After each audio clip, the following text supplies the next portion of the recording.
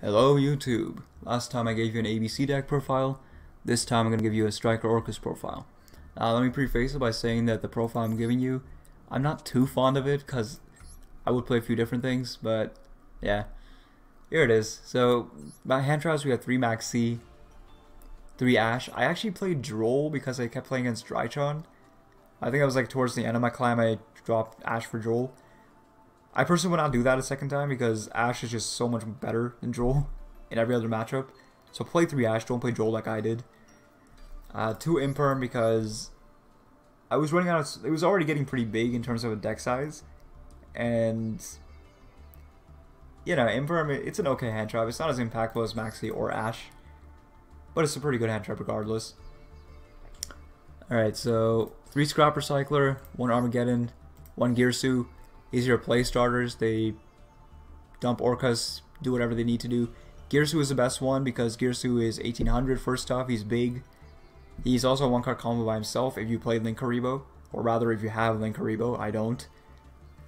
He can get you a, a board of Longirsu, Dingirsu, Crescendo set, or if you're not afraid of getting OTK'd by Numeron, then you can just go Gala Dingirsu. That board is pretty hard to break for most decks because they they can't twin twister you, they can't feather dust you, they can't lightning storm you.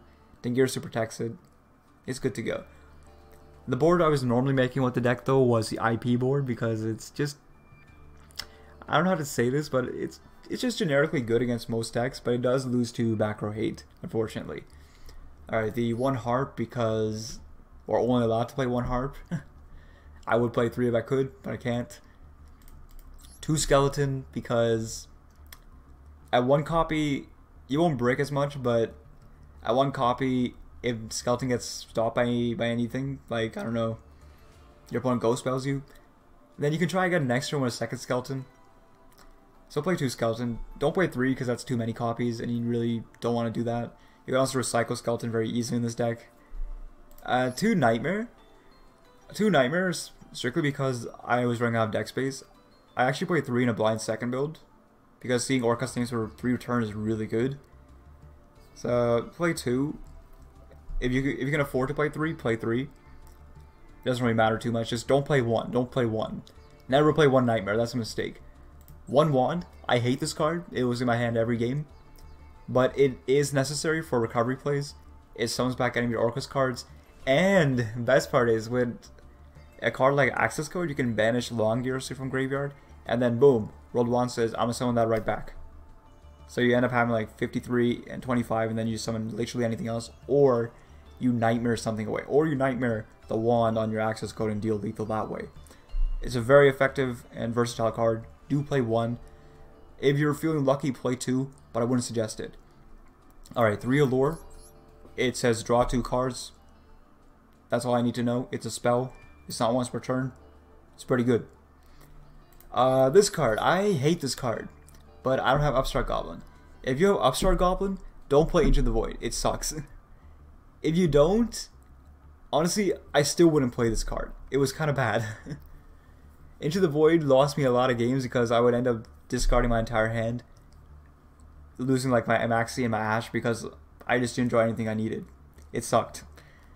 I would say not to play this card, but if you still want to play more or draw cards, you could play Into the Void.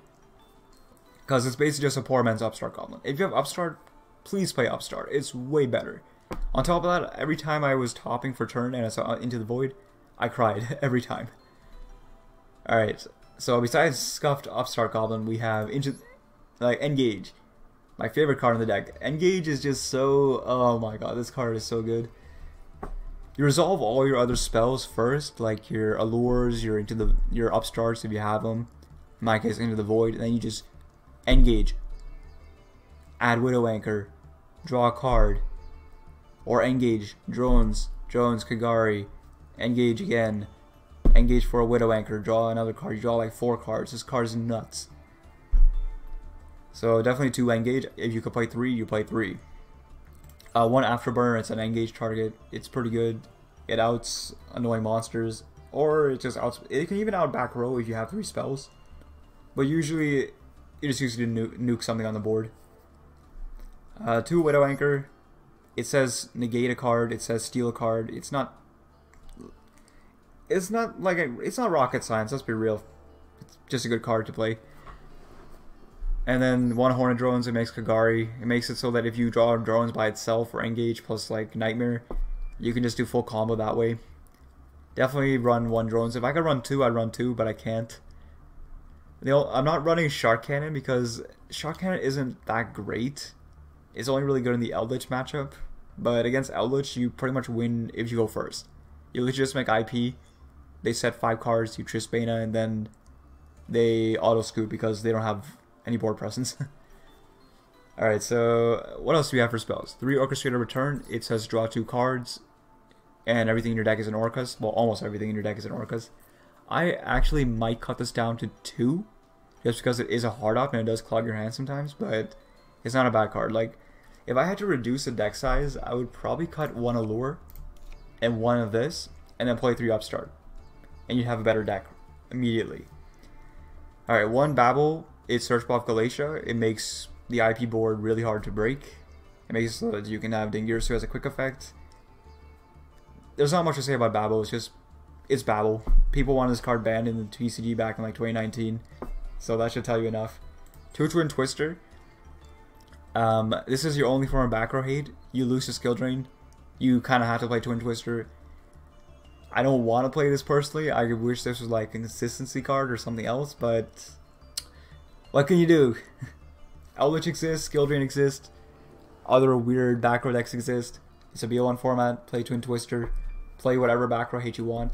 Twister is good because you can discard an Orcust and then it can sometimes unbrick you, funny enough. So that, that's why I play Twin Twister. Two Claw by the Grave, anti-hand trap, it's also a spell, hooray. Two cross out because three, I was playing three cross out before, but with three crossout, I was clogging my hands too much, and crossout on that called by is actually opt. So opening multiple crossout is not very good. So two crossout is fine. Uh, I think I already went over Imperm. The one Crescendo, because Crescendo, listen. If you're able to make the, the Dingirsu Galatea board with Crescendo set, they have to, they're basically forced to play against an Omni Negate. There's not too many people running Cosmic on the ladder. I did run into a few people running Cosmic, but it was only like one or two. Most of them ran either Feather Duster, Lightning Storm, or you know other stuff that says destroy. Dingirsu doesn't care. Dingirsu says detach, detach. Okay, play a card, negate that card. With hand traps or whatever, you just win. If you have Maxx C in the hand, with Crescendo, that's like an auto scoop for a lot of decks. They do not want to give you more cards. Alright, so that's it for the main deck that we have now fixed. This is what you should play. Remember, this is Upstart, not Into the Void. Don't play Into the Void like I did. You'll have a much better time. Two Dingirsu. Ding is like Ding is one of the best extra deck Orcust monsters besides Galatea. It just it's so good to have. You can send a card, you can recycle your engine, or you can just sit on a Dingirsu that protects your board and not get killed for whatever reason. Also protects from an access code because the protection effect does not activate. It just applies. If you only have one, you can get by with just one, but I will try to get two. The one Kagari, Kagari, it just, it's Kagari. It lets you recycle Engage, it lets you make drones, a one card Orcust combo. Well, 1.5 card, you need an Orcust card. It's a good card. Uh, Hayate, honestly, I don't like Hayate. I would drop this for something else, like a second long Girsu, maybe it never really came up. It does get you to engage if you have a really shitty hand, but if you have a, a really shitty hand, then I I don't know what to tell you. You're probably not gonna win that game anyway. Uh, one Cerberus, it's a Knightmare. It discards cards. One Phoenix, it again it, it discards cards. It's a Knightmare. You know what to say. One Galatea, you only like to play one Galatea. I wish you could play two or three even. That'd be nice, but you can't. So just one. One Masquerena, you all this you, you always go into IP Masquerena, or like 99% of your games you'll go into IP. So one IP, it's great. Barricade, again, if you open bad, you open like two bodies, you just barricade, discard whatever, and then you have combo because it's a free discard. Literally, the only reason you play barricade is because he discards cards. The bonus effect is irrelevant. No one cares about the bonus effect. Uh, Trisbaena, auto win against back row decks. You make it off IP most of the time. Very good to have. One Knightmare Unicorn. It's a dark monster, and it's a Knightmare. You can spin anything, it discards cards. Lets you ladder into access code. But most importantly, it's a dark monster that does something. You can also make it off of IP, but I try not to because typically you won't have a hand at the end of your turn. Because of Into the Void mainly. But if you're playing Upstart, that you probably won't run into that issue. Uh, one Long Girsu. Like I said before, I would be playing two because Hayate is just she's not that great. I would play I would play two. He's another Orcust Link monster. He lets you get to Dingirsu easier, and you can banish him off access code and summon back a World Wand. It's pretty free. Uh, one Topologic Bomber Dragon. I pretty much never summon this because it doesn't really do anything. Yeah, it doesn't really do anything against most matchups. I guess against Tri Brigade you could do something with it, but yeah, I guess it's fine against a Tri Brigade matchup. You just keep nuking their board; they they can never summon anything. Um, this one, Zeroboros. Zero Boros is insane. If you're playing against Numeron and you IP into Zeroboros, they they can't win. You wait for them to summon their stuff, and either they play into your arrows, or if they don't play into your arrows, you skeleton special Dingirsu, Chainlink 1 Zeroboros, banish everything, Chainlink 2 Dingirsu attach. So Dingirsu gets banished, and then you attach either. I, I don't know what you would attach. You either the, the skeleton, the Knightmare, or the harp, whatever you need at the time. You attach one, and the next turn he comes right back, and he's really big. This card alone can win you games because just because of how absurdly big he is. And then the one access code because, you know, access code ends games by himself. So, like I said before, if you have Linkuriboh, I would probably play Linkuriboh, probably in place of the Cerberus here. And then if you have a second Long Girsu, I would play it in place of the Hayate. So this is what I would have played. Well, sorry, I gotta remove that card first. This is what I would have played if I had the funds. But I unfortunately did not. Alright, hopefully that deck profile was good. Hopefully you like it.